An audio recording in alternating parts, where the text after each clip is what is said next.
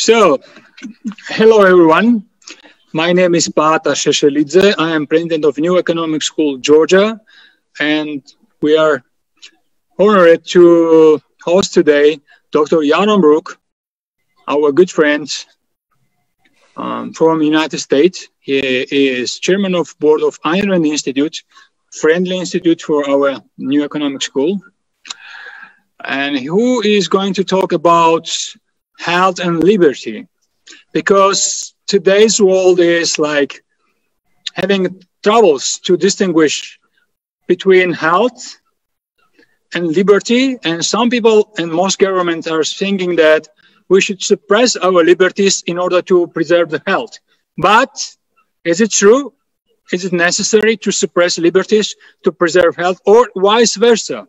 Maybe liberty will give us chance to overcome all difficulties, find good cure, and deliver fastest solutions for those diseases which we have now, or the present, or the past, or in future.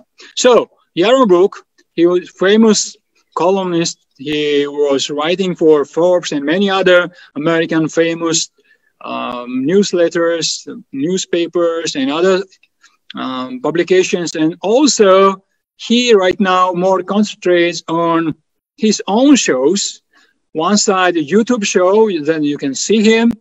I believe this uh, our talk will be uh, in one moment uh, and that place as well. But in other side is blog radio show, which also available. You can see our in our screen right now, and you just dial up, dial um, Yaron Brook in both places, and uh, you can find links to his um, the previous talk and maybe in this talk too. So now what we are going to do is to just give floor to Yaron. He will speak, he will give us his insights, and then we'll have chance to ask him questions. And I'm reminding you that we are recording all this um, process and it will be in our Facebook page, so you can watch it later as well. So, Yaron, thank you very much for your um, presence here and please talk about uh, your views, health and liberty. Great. Thank you, Pata. Thank you uh, for, for inviting me, and it's uh, it's great uh, it's great to be here. I wish I was in Tbilisi. That would be more fun.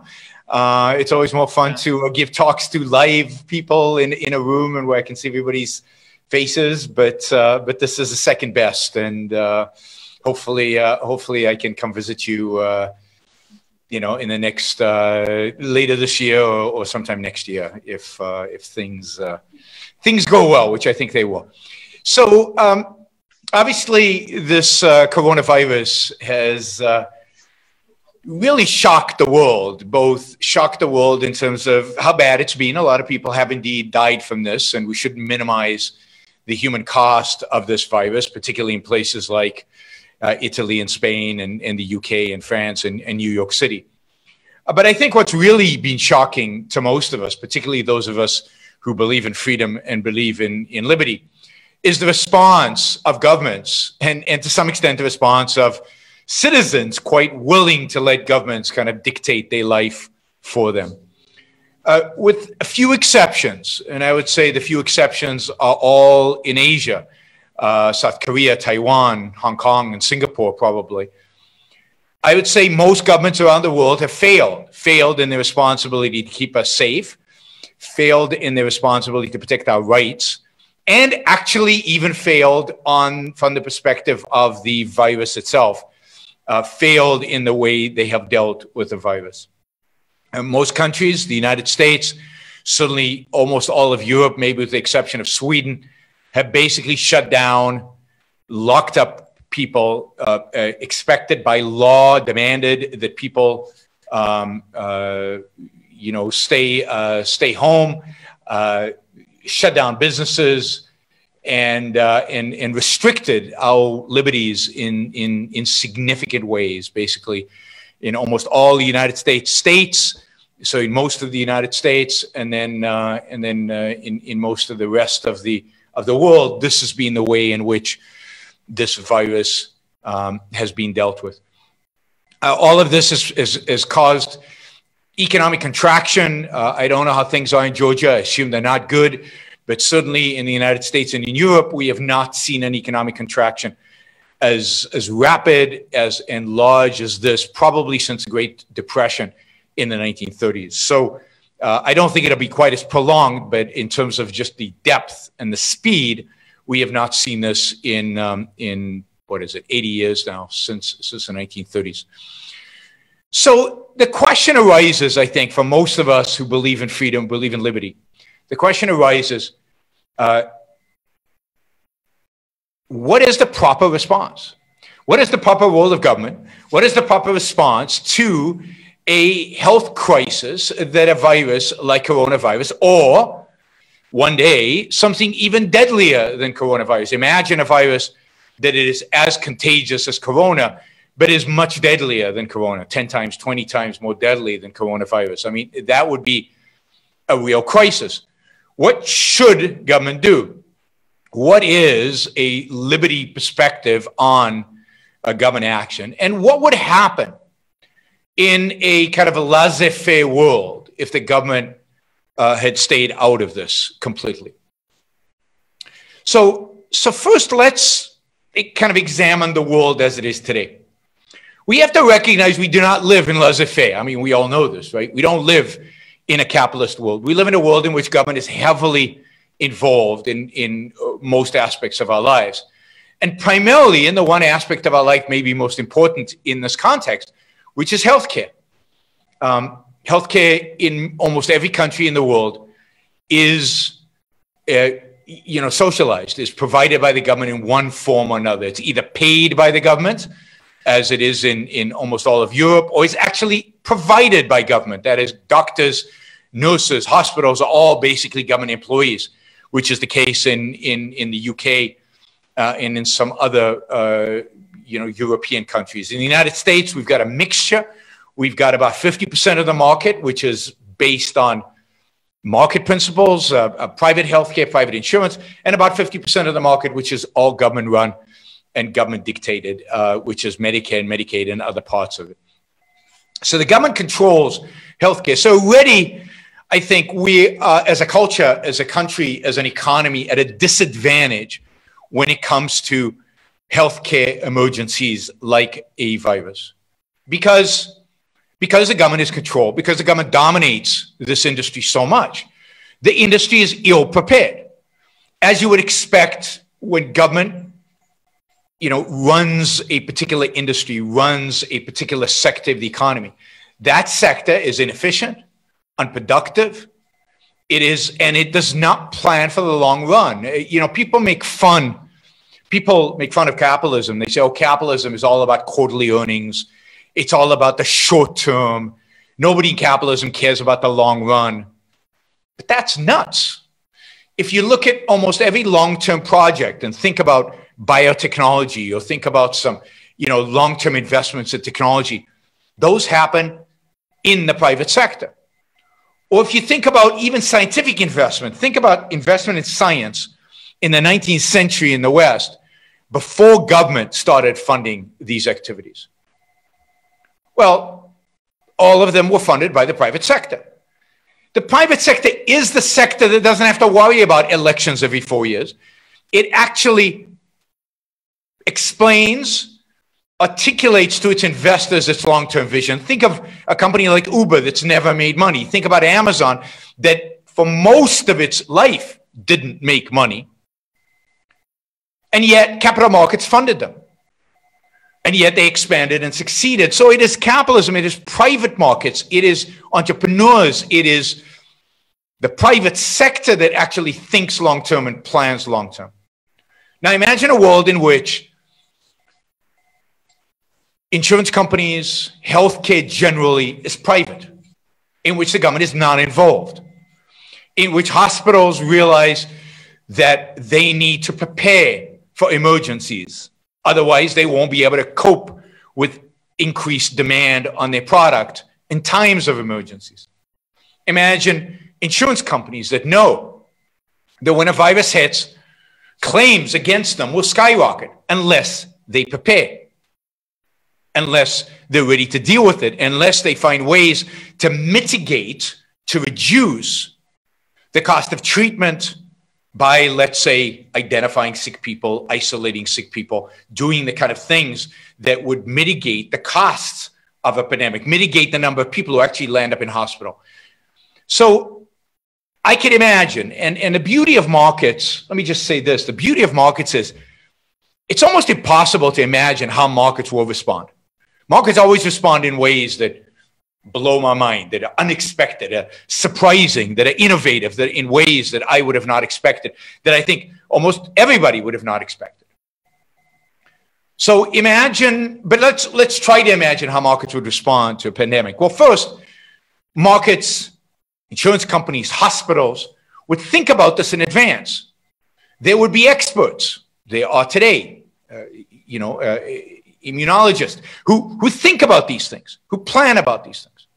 And then insurance companies would have a plan. How do they deal with the issue of a potential pandemic? Well, first they would say, well, we want to make sure that we have a few things. We have testing capacity so that we can test people who are insured by us.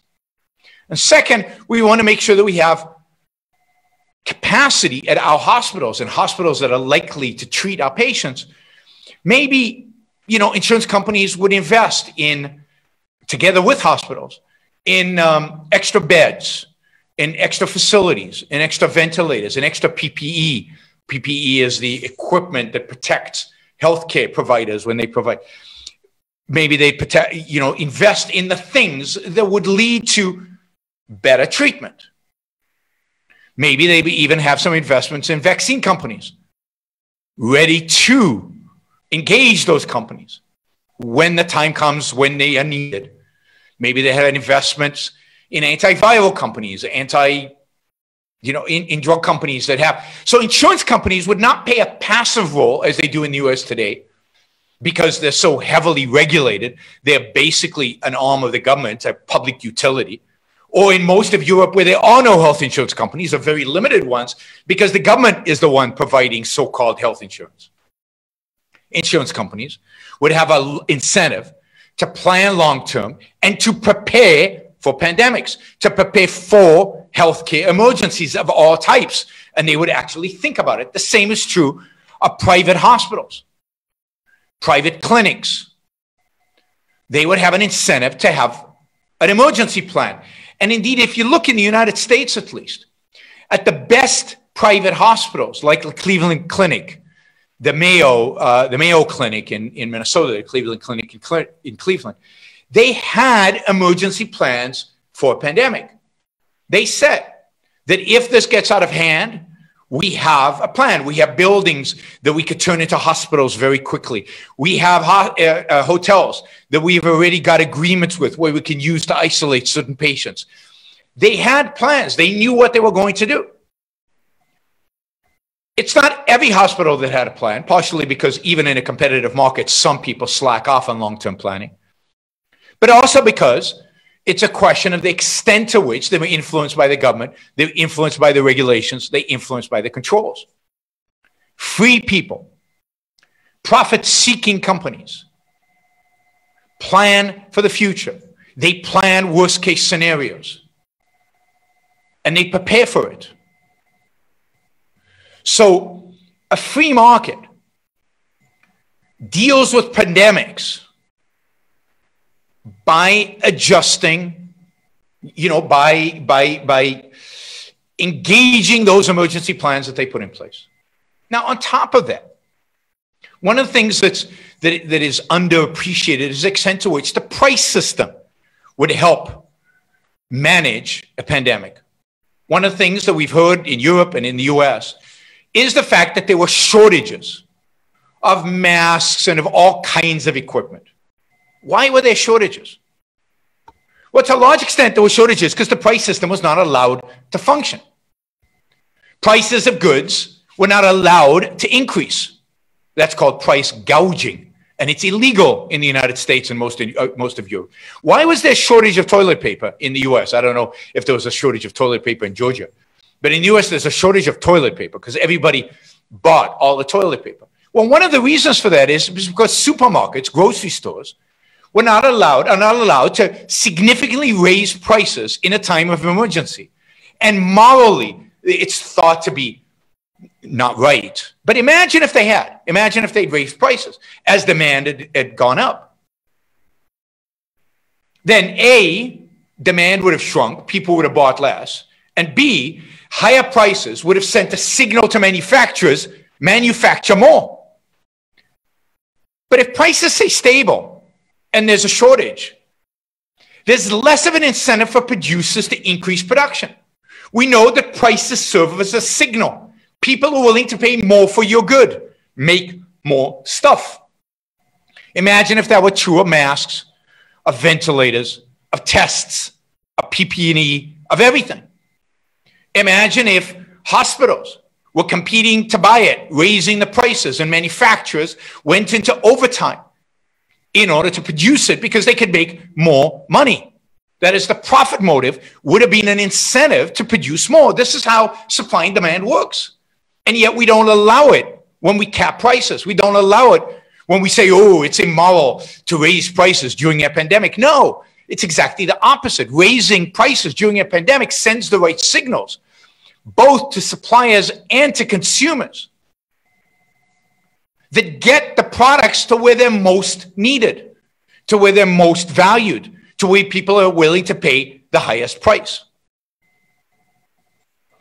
So markets work to allocate resources and they work amazingly quickly and amazingly effectively when they're allowed to work. When we don't place limitations like price controls, we don't place limitations by shunning people who gouge, when we don't raise prices, when we don't place limitations on international trade, and we can source our supplies from any vendor anywhere in the world at a zero tax, you know, without tariffs. If anything, this crisis has taught us that we need more global supply chains. We need more diversity of sources. We need more countries to trade with. If all the supply chain is all in one country, even your own, then what happens when you have to shut down all the factories because people don't want to go to work because they're afraid?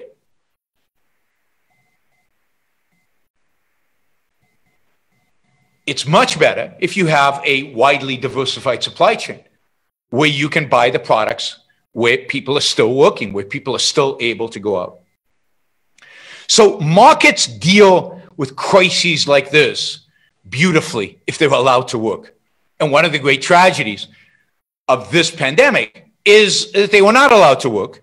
And in the most important industry, the industry that is healthcare, we did not have a market to begin with because government is so involved. And this is true of particularly in places like Italy, Spain, France, the UK, where the National Health Service is completely 100% government controlled. So there is no market. There is no functioning market. There is no price signals. There is no long term planning. There is no emergency capacity. There are none of the things that you would expect in a private sector because it's not a private sector. What you get is a, a government sector, and governments we know fail dramatically in times of crisis, in times of emergency, in times of spikes in supply and demand. They just have no mechanism by which to cope. So let's see what is the role of a government in a time of crisis like this? Is there any role for a freedom minded, right, individual rights respecting government, eh, for a laissez faire capitalist government? Would there be a role in a crisis like this?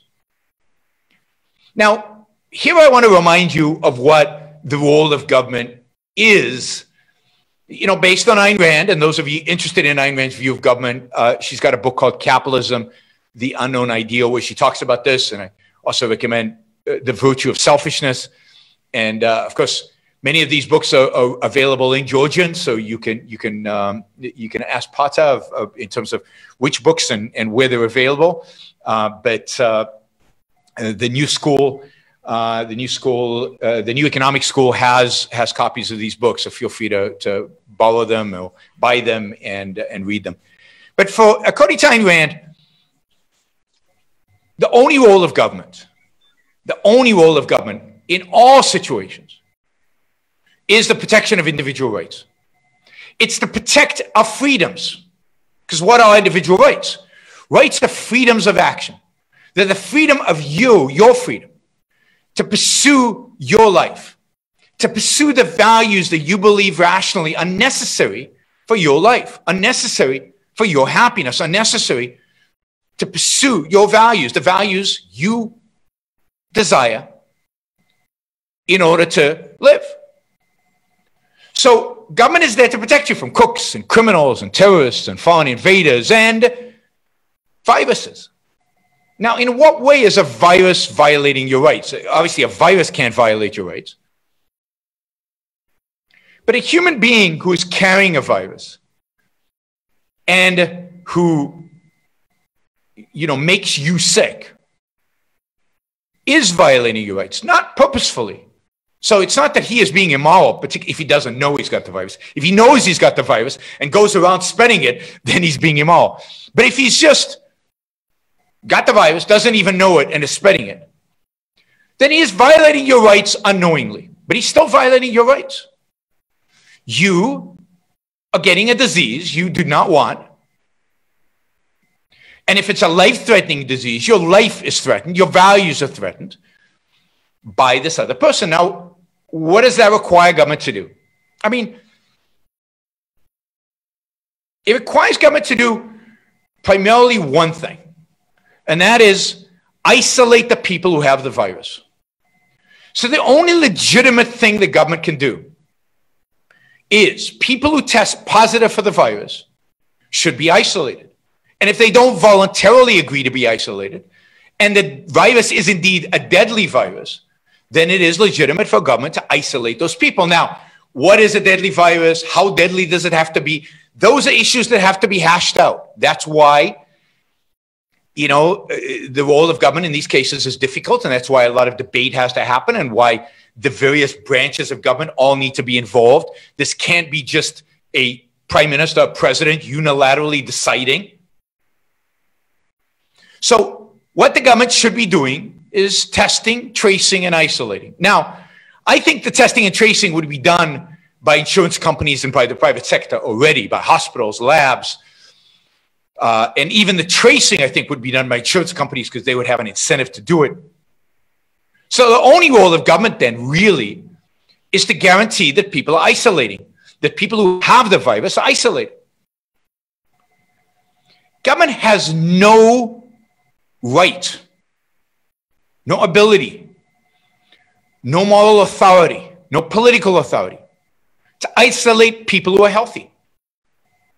It can't tell you to stay home because you might get the virus. If you have the virus, it can tell you to stay home because you're a threat. But if you're healthy, government has no business in your life. You're not a threat to anybody else. Now you can imagine, you know, Pata, did you want to say something? Oh, sorry. You can imagine scenarios in which, I don't know, there's a deadly virus and people are dropping like flies and it's, it's really deadly and it's really quick and everything, where for a limited period, the government isolates everybody as it tries to handle the virus in a particular geographic area. But that is like a super emergency that COVID 19 is has nothing to do with that, right? And it would be limited, it would be during a particular period, and the exit strategy would be clear and evident. That's not what happened here, right? So that's the role of government. It's to protect individual rights. That's it, nothing else. In this crisis, of course, government has violated all of this. It has shut us all down, healthy and sick. It has no criteria for when we exit that shutdown. Every government, you know, it's it's it's playing it by ear in a sense. It's doing it minute by minute. It changes its mind. There's no objective criteria. Government has failed in its responsibility to do any kind of testing, tracking, isolating particularly in the United States, but certainly in most of Europe. Germany's been a little bit better. But again, it included shutdown people that are healthy. So governments in this case have violated rights on a massive scale. And the sad thing is, I think, that nobody seems to care. One of the sad things about this crisis is that people seem to just accept that it's the role of government to tell them how to live, that it's the role of government to, you know, basically run our lives, to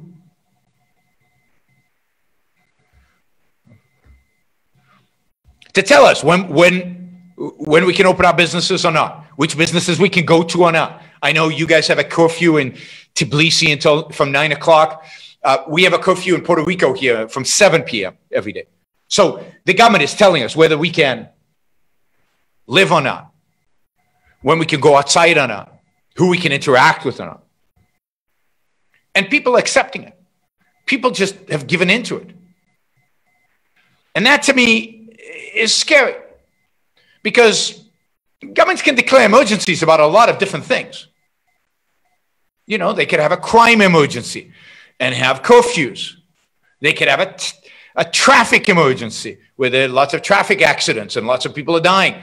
And they could declare that all kinds of things about how you drive and what you do and what you don't do and who can drive and when you can drive. If people are this scared, people are this willing to succumb to government decrees and government, then we are in big trouble.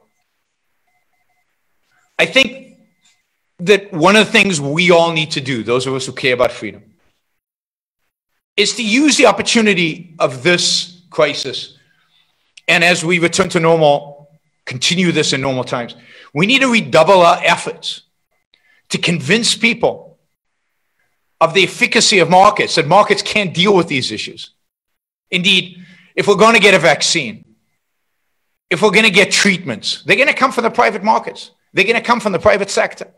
If we're going to ramp up manufacturing of vaccines to be able to vaccinate millions and millions of people, it's going to be the private sector. Even if the economy starts open up and, and cases start dropping, it's going to be because people voluntarily choose to socially distance. It's going to be because people behave like adults people act in ways that reduce risk and therefore reduce infections. These kind of emergencies can be dealt with voluntarily. They do not need the coercive power of the state. We need to make that case. We need to double our efforts to advocate for freedom. Because if government learns from this, that they can use emergencies to gain more power as in a sense they have throughout history, whether it's war or whether it's disease. The powers that the government takes are very rarely completely given up. They almost always end the crisis more powerful than they did at the beginning of the crisis. We will have at the end of this crisis much more to fight about. We will have at the end of this crisis much more to advocate against. Governments will only feel more I don't know, motivated to take more and more power from us and to try to control more and more of our lives. So this is time to redouble our efforts. It's a time to better educate ourselves about the cause of liberty and the cause of freedom.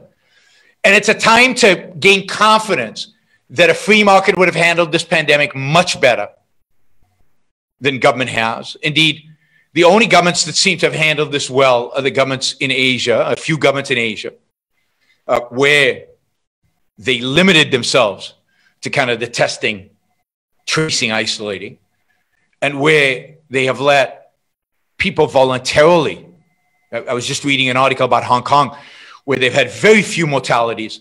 They've had constant inflow from people from China, and they've managed to contain this. And they managed to contain this primarily because of voluntary actions by individuals, not by government decrees. So we need to be re-emboldened in our fight for freedom, in our fight for liberty, in our fight against government controls, um, and you know reinvigorate those efforts. So uh, I challenge all of you uh, to to educate, to read more. If you're still isolated at home, this is a great time to to read more books, uh, to do more webinars, to take more, to to see more videos and to educate yourself in the case for freedom and liberty, primarily, I think, by reading uh, by reading Ayn Rand and by by listening to her talks and lectures and and uh, so on. You can find a lot of that on YouTube. You can also find it on aynrand.org, a y n r a n d.org. All right, I will take any questions that we might have. I see there two here in the chat.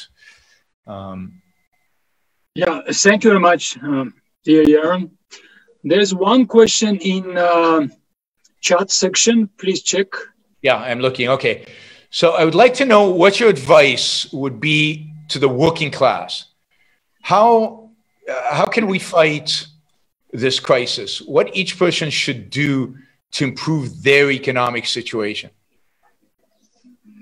I mean, this crisis is very, very difficult for people in the working class, or people who have lost their jobs in factories or lost their jobs in restaurants, in, in shops, people in retail.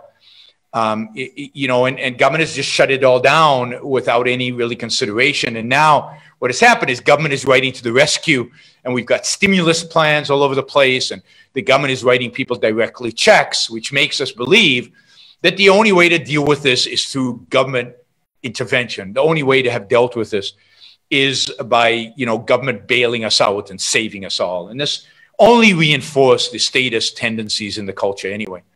Again, I think we need to remember that markets have solutions for these kind of things. Uh, in markets, you would have things like unemployment insurance. Uh, it would just be private. In markets, you would have insurance for businesses that included what's called business interruption and and and uh, and that could include uh, viruses. Co- small businesses would have insurance that would cover them from things like viruses. Uh, insurance companies would be a lot. Insurance markets would be a lot more flexible and viable. But look, shocks do happen. There are situations where you're going to lose a job. There are situations where small business will shut down. Uh, and there's situations where you won't be able to be insured for that.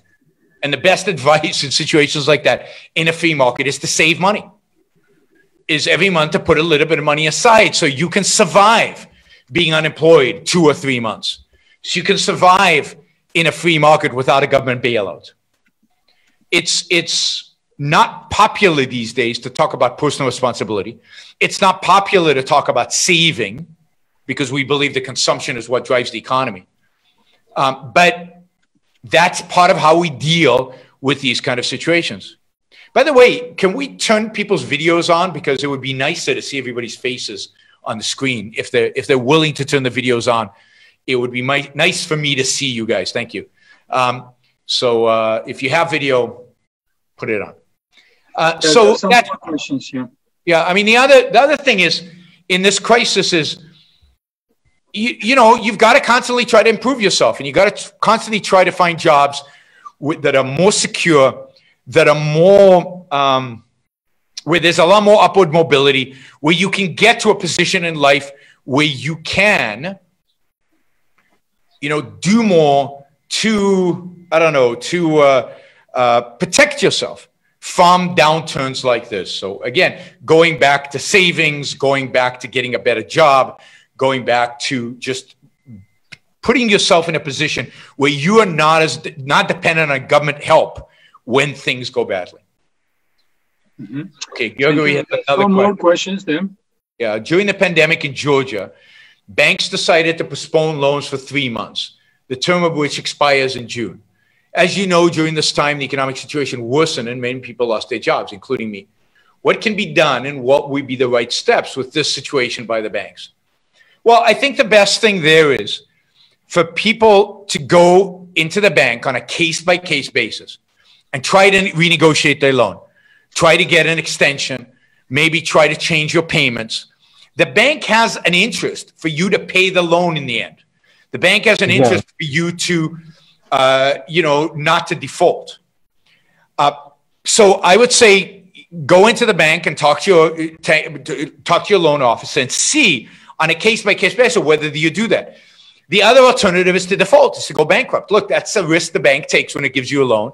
It's a risk you take. You prefer not to do it because once you go bankrupt, it's a black mark on your ability to get loans in the future. So it's not a good thing to have on your record, but it's not a disaster either. So it's certainly, uh, you know, within a market solution and a moral solution say, look, I just can't pay the loan. I don't have a job. I don't have income. I just can't do it. But hopefully, the better alternative is to change to, to negotiate with a bank a better better loans, better payment scheme, um, spread the loan over over a longer period of time, so that you in the end can pay it. You win because you don't get a black mark of bankruptcy on your on your record, and the bank wins because they get their money ultimately, even if it takes them longer to do it. And hopefully, Georgian banks are both flexible enough and have enough capital to be able to survive stretching out some of these loans over longer periods of time. I, you know, my expectation is uh, that that it's within their capabilities to do that. And and my guess is, again, banks are such a regulated industry, such a controlled industry, that my guess is the government is going to let them do that and and give them a little backstop. Uh, because the government doesn't want to see the banks fail. So, in a private market, banks would have more capital. banks would go into a crisis like this with a lot more capital. The only reason banks are so leveraged and have so little capital is because they have a government guarantee because you have things like deposit insurance, because you have things like an implicit bailout of the banking system that every country has. Um, those are the reasons banks are so risky. No bank in a competitive market could afford to be as leveraged as banks are today. So again, in a free market, everything would look differently. there would be less lending because there would be uh, there would be banks would have to hold more capital. All right, let's Thank see. You. Unfortunately, there's some people who are willing to give up their individual rights for the sake of the common good, especially in the crisis. What do you think about it? Well, first of all, you have to you have we have to start being better at arguing against the common good. There's no such thing as the common good or the public interest. Who is the common and what is their good? I mean, how many people do you have to have in order to have a public? How many people do you have to have in order to have a common? It doesn't mean anything. Good, interest, public interest, good from common good. Good and interest are um, things that apply to individuals. They cannot apply to a group independent of those individuals. The only thing you can say that is in the common good, and I put that in quotes, is to protect the rights of individuals so that individuals could choose what's good for them. Because you can't decide what's good for somebody else. You have no right to do it, but you can't. You can't get inside their head and figure out what's good for them. And a good imposed on somebody, a good that is forced on somebody is not a good. To be good, it has to be chosen morally and politically.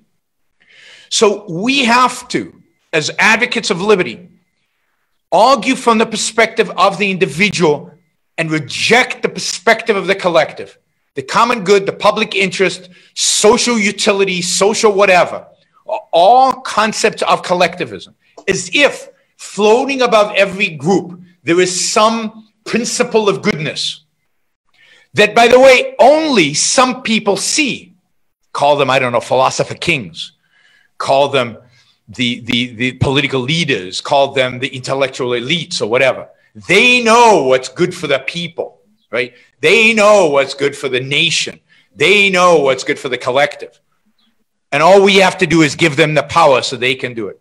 So there is no such thing. Now, sometimes it makes sense to, um, for an individual to say, look, me going out right now uh, is potentially dangerous to other people and ultimately to me as well. I care about other people. It's not that as individualists, we don't care about anybody. I don't want to see people get sick. I don't want to see people die. So I'm going to stay at home for the next week and it'll help, it'll help me stay healthy uh, because I won't be exposed to other people, but also just in case I've got the disease, I won't be infecting other people. So it's better for others as well. That's, that's fine. As long as it's not a sacrifice and it's not it's not caused by government so you can take into account in being an individualist in being a moral individualist in taking in thinking about your own rational self-interest it's completely moral and rational to take into account your impact on other people and not wanting to do harm to others so i think without government coercion a lot of people would have stayed home a lot of businesses would have shut. a lot of businesses would have asked employees to work from home because it's in our self interest not to see a disease like this grow exponentially. It's in our interest to have some social distancing as individuals. So you got to tell people who are willing to give up the individual rights that, that what that means. And what it means to give up your individual rights is it means to give up your life. It means to give up your control over your own life. Individual rights are the protection we have to control our life. It's the idea that your life is yours to live as you see fit based on your principles, on your values, on your mind. And when you give that up, you're giving up your mind, you're giving up your principles, and ultimately what you're saying is your life is forfeit. You don't care about your life. You're willing to let other people dictate how your life should be. So don't don't accept it. You know, fight those people, not fight physically, fight them intellectually. Okay. All right, let's see. Yogi asks as another question. Um, I hope that you know what is PARO, Spanish unemployment system, how we can work for this, how we can ask government to give back us your money in time of necessity. What Georgian economists do to start negotiating? I'm, I do not know what PARO is, um, so I'm not sure what the Spanish unemployment system is.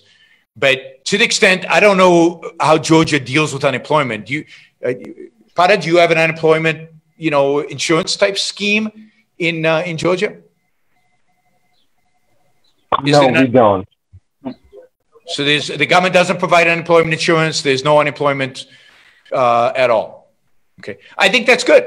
I, I don't think it's good for the government to do it. I mean, maybe there's a private sector solution where somebody could come up with a kind of unemployment insurance product but the best thing for the government to do right now is not hand out checks. The best thing for the government to do right now is things like cut taxes, restrict uh, limitations of government formation, and get rid of any kind of restrictions that stop businesses from opening up. So the best thing the government can do right now is encourage entrepreneurship, and the, and the, and the way you encourage entrepreneurship is by getting out of the way. So I know Georgia already has, you know, a, a, lot of economic freedom relative to a lot of the rest of the world, but you could do better. There's still a lot you could do, uh, both in terms of taxes and in terms of regulations. So the best that Georgia can do is again, freedom works. If you're worried about your job, if you're worried about your next job, if you're worried about income, the best thing you could do right now is to advocate for your government to have more freedom, to open up the economy more to, de- to regulate less, to allow people uh, to, to open up businesses easier, make it as simple as possible to open up businesses. Uh, okay. Was policy of local government in Puerto Rico different than local government in California? Uh, it was in a, it was a little bit more stricter. It was very similar, but it was a little bit more stricter. There, there are no curfews, curfews where you're not allowed to go out at all uh, in California, but here in Puerto Rico, we had a curfew from 7 p.m. until 5 a.m. In California, they just closed businesses and they uh, only allowed you to go out for walks with your dog and things like that, but you couldn't actually, um, uh, you know, you, but they, so it was a little bit more open in California, but you know, like everywhere else, you can cheat, right? So uh, here in Puerto Rico, we weren't allowed to go to the beach, but um, a few times we managed to go onto a beach where the police were not there, and we went we went swimming and and uh, and had a good time. So uh, we managed to to subvert the restrictions um, in spite of what the government instituted. Uh, I think it's it's probably harder to do that in California. My guess is the police are more efficient in California than they are in Puerto Rico. Um, but uh, but you know it, it, so both in Puerto Rico and in California, it's been pretty strict. Uh, Puerto Rico's opened up now for most businesses, but they still not for restaurants and, and stores and retail stores and malls. Uh, I think they will starting next week. I think the same in California. They're going to start opening up next week. So I think Puerto Rico and California, you know, step and step. I'm if California opens up faster, I think my wife and I are going to fly to California and spend the summer in California. So we're going to go where there's more freedom right now. I'm, I'm, I'm, you know, so we'll see. I've got a house in California. We might spend the summer there. Um, what can you say about WHO? Was this organization helpful or the opposite? Well, it certainly was, um, I think, not helpful in the beginning of the crisis. There's no question. It, it was bought way too into the story that was told by the Chinese. It, it provided, it became, it basically reinforced the Chinese misinformation. So there's strong evidence to suggest that the Chinese knew about human to human transmission of the virus in early January. And if you remember, there was a doctor who was warning about this on Chinese social media, and he was forced to go to the police, and he had to sign a document retracting all his statements and apologizing to Chinese Communist Party about this. I mean, the tragedy is that ultimately he was a hero because he, he let the world know about this. Ultimately, he contracted the virus and died from it in early February. So he is one of the heroes of this crisis and one of the great tragedies. And several people have disappeared in China who were some of the people who early on let people know about human to human transmission of the virus. So China, uh, China was a villain here, there's no question. And the WHO was far too willing to accept China. One of the reasons Taiwan has done better than any other country. I mean, there, there, are two reasons. One is, you know, the vice president of Taiwan is an, uh, an is an expert on viruses and is an expert on. He's a doctor, so they were right on top. But the second reason is the Taiwanese don't believe and don't trust the Chinese. Now, what's interesting is Taiwanese are not represented in the WHO. Taiwan is not a member of the United Nations. Taiwan, you know, the United States has no embassy in Taiwan, all because the Chinese, you know, don't like it. So the whole world is coward before the Chinese. It's not just the WHO, right? Everybody says, oh, the WHO is evil because they don't recognize Taiwan. Nobody recognizes Taiwan. It's pathetic. The whole world, a bunch of cowards when it comes to this. So the WHO was very much, uh, didn't listen to Taiwan Taiwan was warning about this virus in early January. Taiwan took the right steps early on, did the testing, tracking, and, and basically contained this virus very early and, uh, and has done phenomenally well during this crisis and has taken uh, you know, less of an economic hit as a consequence than the rest of the world. So that is the model, but they're the one country the WHO didn't listen to, and that's part of the tragedy. And of course, the United States didn't listen to them. Europe didn't listen to them. You know, nobody did. So it's it's a it's the fault of of of a lot of people. Later on, you know, it's hard to tell how much the WHO was helpful or harmful. Um, I think generally the advice they gave was good advice. I think generally they've got good people there, but obviously early on, which is the most important time, they were corrupted by influence from China. Now, in a free market, in a truly free world, it would be good to have an organization like the WHO, but structured a little differently.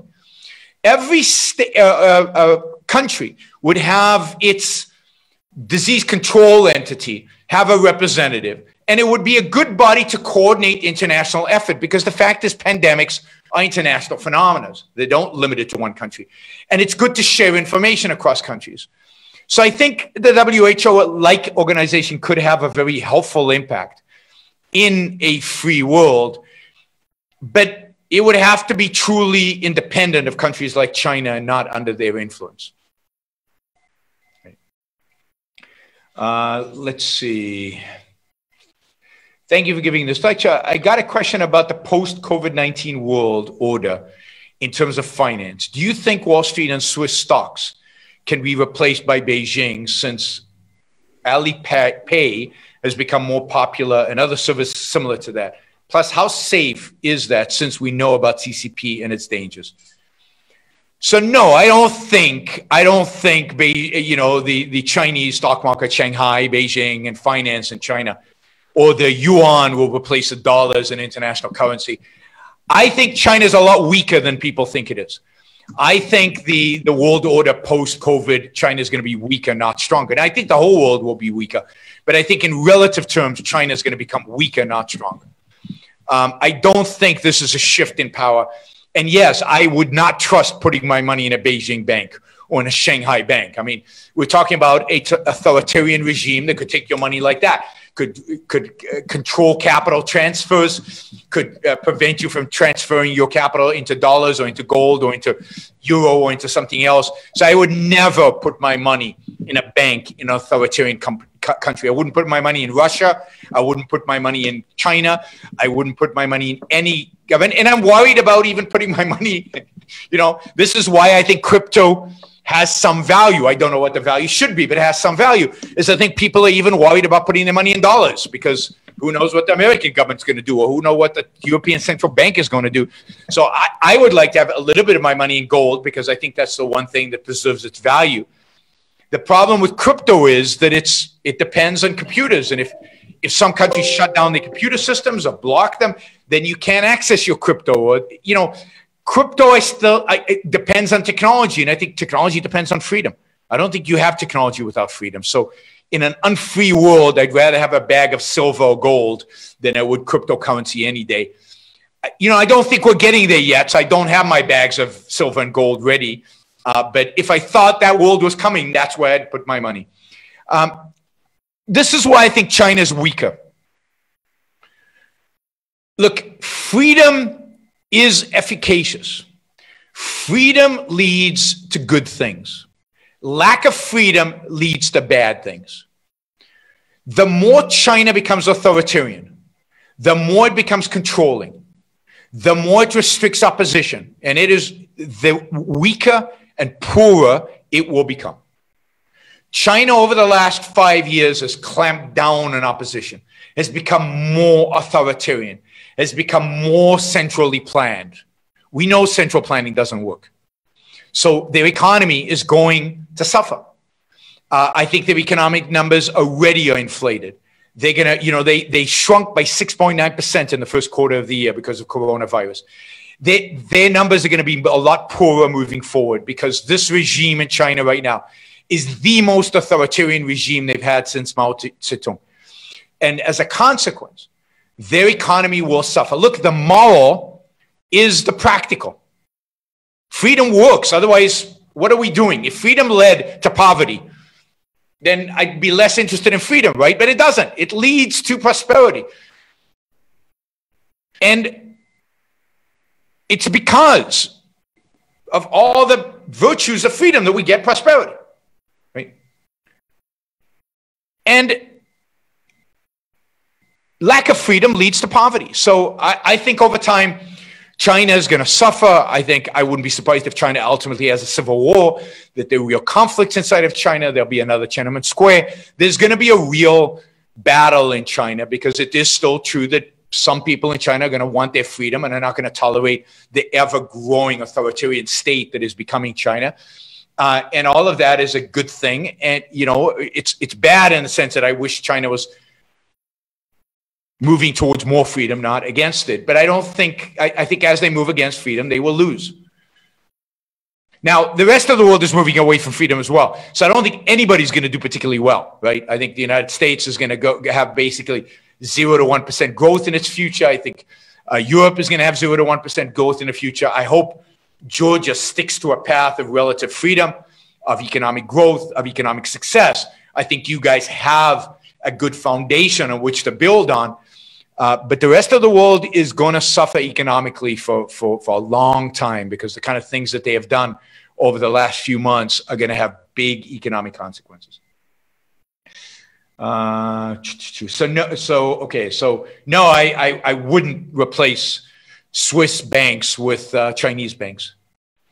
Okay, Georgian government is also implementing an act where they can violate your universal inalienable human rights in terms that they can violate your economic freedom, possibly maintaining your property, freedom of movement, etc. They can do these even after the curfew is over, after 22nd of May. Uh, so this act gives them a lot of power and privileges. What can be done about that? I mean, you got to fight it. Uh, you know what can be done about it? You, the only thing you can do about it in a in a free world is to argue against it. It's to rally against it. It's to protest against it. It's to use the tools that you have in order to, to fight this. Uh, the primary tool we have is education, speaking out, writing articles. Um, I remember last time I was in Tbilisi, there were protests in, in front of parliament. Um, uh, and, uh, you know, it, it, things like that have an impact, right? You, you rally, you, you know, you rally the, the people against the government. Uh, you know, that those are the tools we have. And, and the primary tool, again, is, is the kind of work that, that uh, the new economic school does, the, the, the kind of work that Pata and his colleagues do.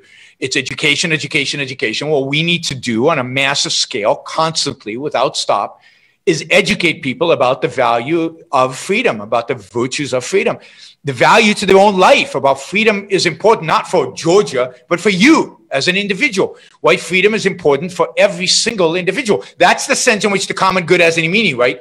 The common good is just a collection of individuals. Well, what's good for the individual? Freedom. That's the only common good. The only common good is the protection of individual rights, the protection of freedoms. And we need to win that argument too often on a global perspective we fail to win that argument. We we don't fight enough and we let the other side dominate. Um, it's our job and, and it's the reason why i do i do this and and and and I, I won't let the virus kind of stop it and the fact that i can't travel won't stop me from from doing these kind of webinars is because this message needs to get across. Uh, all of our futures depend on it. Uh, the future of our children the future of civilization depends on this message. I mean, one of the things that should motivate all of you is that you are really on the front lines of the battle for, for civilization. Without these ideas, without the ideas of liberty and freedom and markets and individual rights, civilization crumbles. So, to the extent that you're fighting for this, you're fighting, you are the soldiers for civilization. And the battle is still a intellectual one, an educational one, not yet one with guns, thank God. So thank whatever. Uh, so uh, you know, keep it up, keep speaking, keep sharing, keep engaging, keep studying, keep learning. You know, uh, support people like Pata locally who are doing this kind of work that is really the work that, again, will save civilization or not. And and and you got to keep it up. So somebody's asking, what changed has the coronavirus changed your attitude to government? Not really. I mean, I always knew that government would screw this up, so I'm not surprised that it did. Um, and uh, it hasn't changed my attitude towards the role of government. It's it's still the same. I still think it has very very little role to play, um, and and the role it plays is limited to individual rights. Uh, the coronavirus has some impact on individual rights, and I articulated what that is before. But no, no, nothing changed. The only thing that's changed, I have to say, from the coronavirus is, and this is sad for me to say, is that I become more pessimistic because of the, the, way, the way people just folded, the way people just accept this. And on one side, on the other hand is, and maybe you get this in Georgia, but I don't know, but in America, the number of people who have accepted conspiracy theories about the virus that are completely irrational about the virus, right? Uh, it's one thing to be anti anti the way the government has responded. The, the government has responded terribly to this virus, but don't get seduced by stupid, irrational conspiracy theories and therefore discredit your cause. We, because we're so radical, because we're so different, because we're fighting such a difficult battle, we have to be super rational. We have to make sure that we have the facts. We have to make sure we know what we're talking about. We cannot be associated with nuts, with crazy people who, who really nobody should pay attention to. And too often I see these combined. So I'm a little bit more pessimistic because I thought people would resist what governments have done a little bit more. And I'm more pessimistic because I see how many people really quickly are willing to accept really irrational explanations because they're afraid, because of fear, and because of ignorance. So sometimes it's best to say, I don't know. No. Uh, thank know. you. Irakli has a question. He wants to yep. ask it directly. Uh, so, thank you. Uh, my question is uh, like uh, you said that uh, the people who have corona, who have coronavirus and we know that they should be separated. But um, what about the other diseases that we don't have any vaccines or medications like tuberculosis, for example. I, I know in Georgia, like if you have coronavirus, you're forced to be isolated by the police, but if you have tuberculosis, then you're not. And I, I know such uh, system in other countries works work as well. And uh, where is the distinction? We, what's the distinction we can make here? So it, that's a difficult question. It's not obvious what the distinction is, and and and I think that people. This is why I believe that, you know, as as you guys know, I'm not an anarchist, and I believe there is a role for government, and and and this is one of the roles. One of the roles is that the government has the good government. In the case of a good government, it has to think about what does what is the distinction between different diseases? What is clearly a violation of rights, and what is not, right? Suddenly, the flu, for example, the flu is very contagious and it's debilitating, right? You get the flu, you're out for like a week, you get a fever, and you, but it doesn't, you know, and it kills some people. Some older people die from the flu, right? So the question is when does something cross from something we're just willing to live with to something where we have to isolate people? COVID, I think, is a borderline case because the mortality rate is bigger than the flu, but not you know, horrific. But imagine Ebola, if Ebola was more contagious, where literally 30, 40% people die. Or Middle Eastern um, respiratory disease, MERS. SARS, SARS. The first SARS or, or MERS. You know, all of those were very deadly, right? Not as contagious, but imagine if they were. So I think government has to set a threshold. Uh, and and so, so this is and I'm going to use the American system of government to give you the illustration. I think it should be very, very hard for government to declare state of emergency. All emergencies, war, virus, whatever, right? So in America, I think Congress should have to come together, House and Senate should each have to pass a state of emergency special law that grants the executive certain powers for the emergency and goes away after the emergency is gone. Very explicit, very limited, very clear. And they would have to decide, okay, coronavirus is serious enough that we're declaring this, right? There would have to be discussion, debate, and they would have to pass it. Maybe even have to pass it two thirds majority. Make it really, really hard, right? Then I think in America, it should have to go to the Supreme Court, to a non political body. And they would have to say, yes, this emergency is so bad that it justifies this uh, declaration of emergency, uh, and a non political body declares that. And then only the executive would act on it. Then only the president could do something about it. So you have to create barriers so that this debate is it deadly enough? Isn't it deadly enough? Do we have enough information? This is the other interesting thing about government. The less information you have, the less government should do. Right? Government cannot use ever uncertainty to gain power. That is horrific.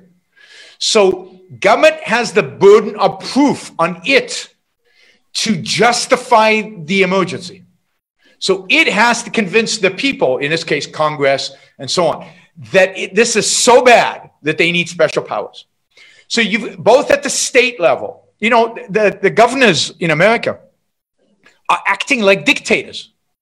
They have unilateral power. They can shut down lives of people, shut down the economy. They don't need the legislature's approval.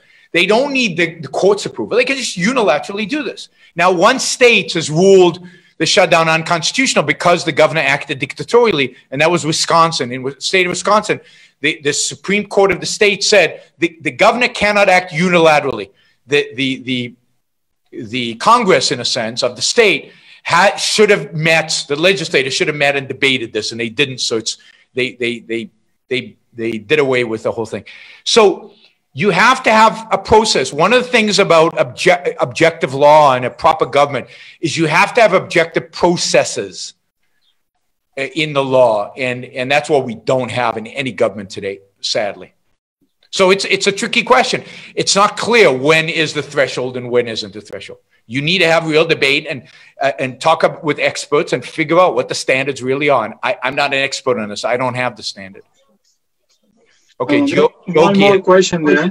Yeah, Georgi has one more question. What do you think about proposals to expand International Monetary Fund lending by issuing more specific drawing rights? Look, I don't believe there should be an international monetary fund. I think the IMF has done unbelievable damage over the last 50 years, particularly to developing economies.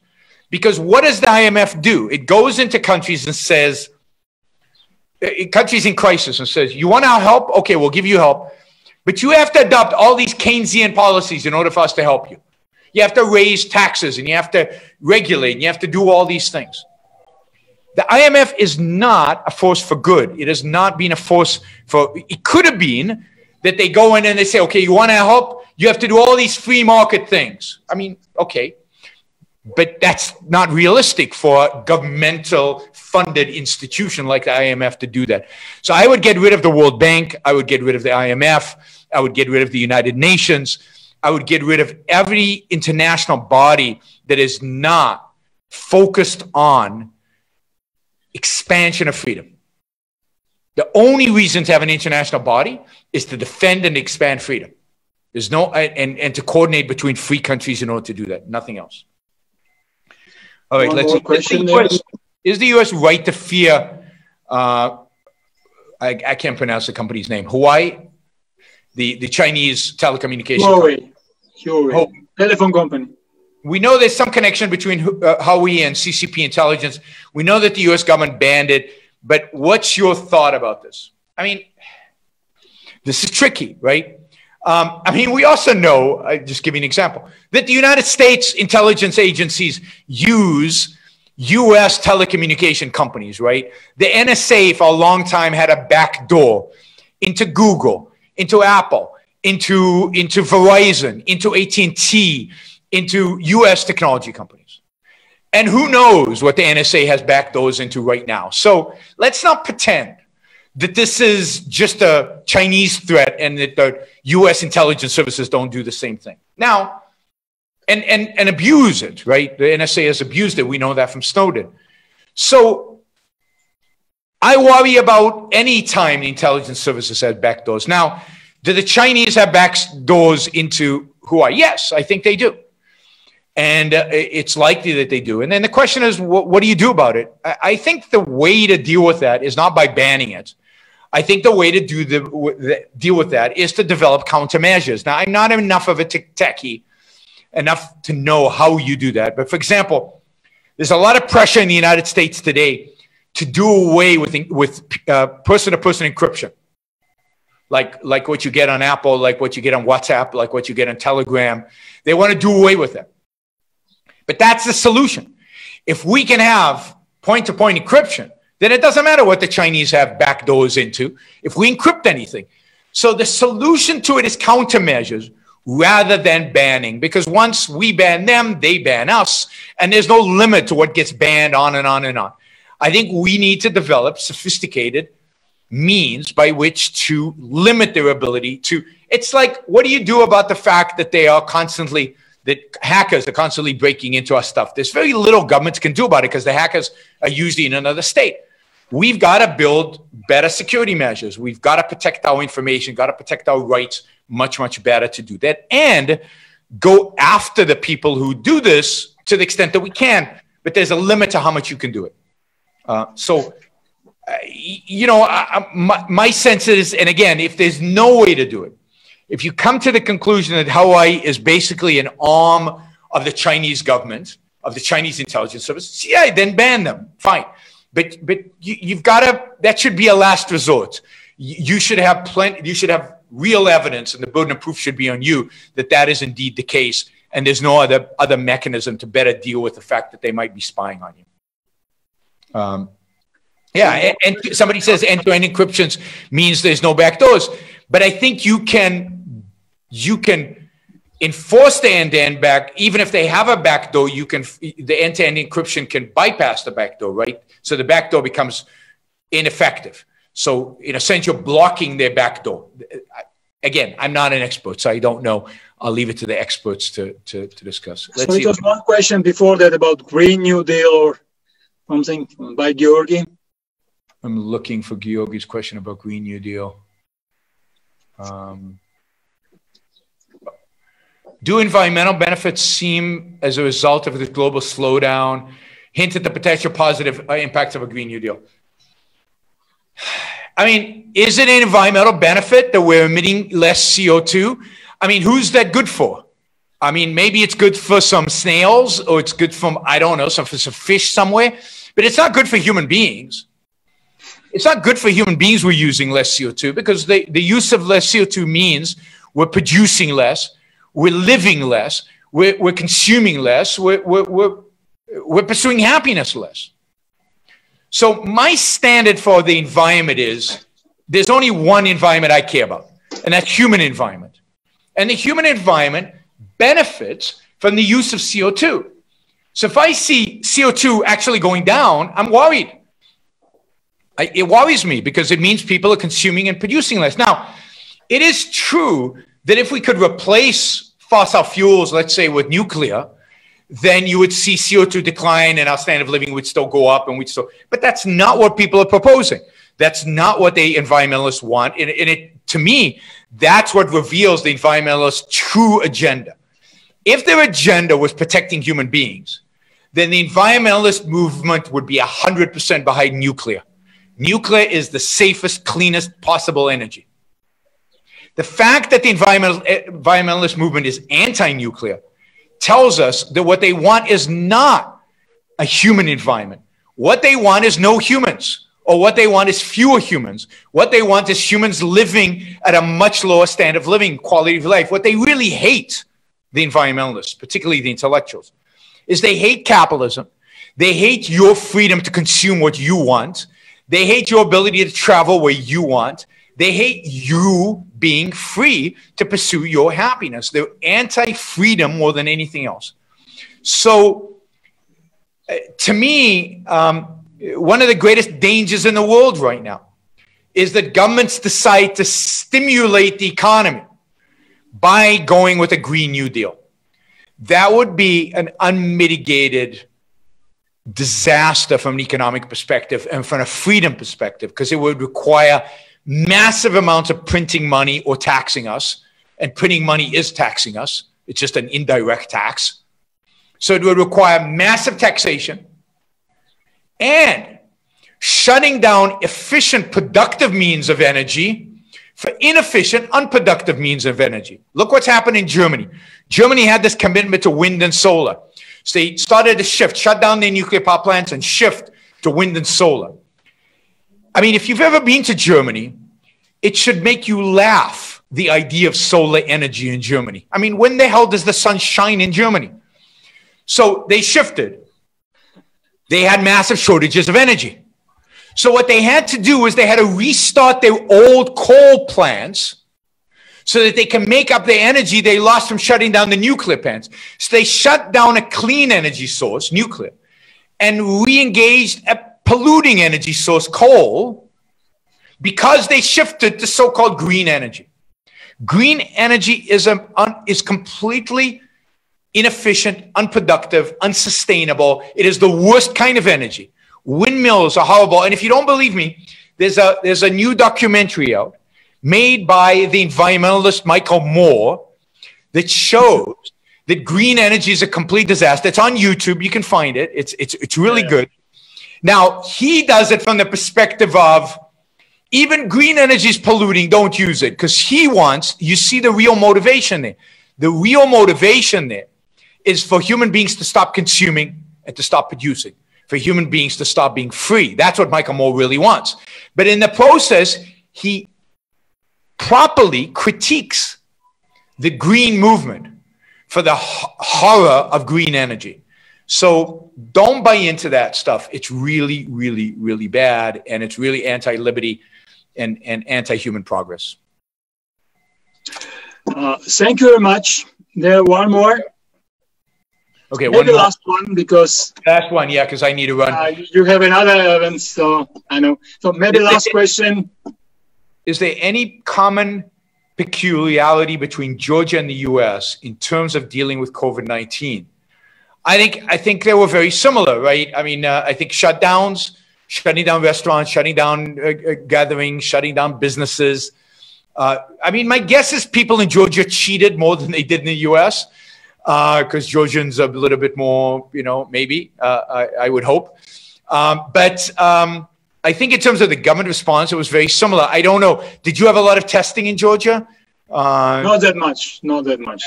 We didn't in the U.S. Only, either. Only I mean, cases when some uh, symptoms. Yes, same in the U.S. Massive, no massive testing.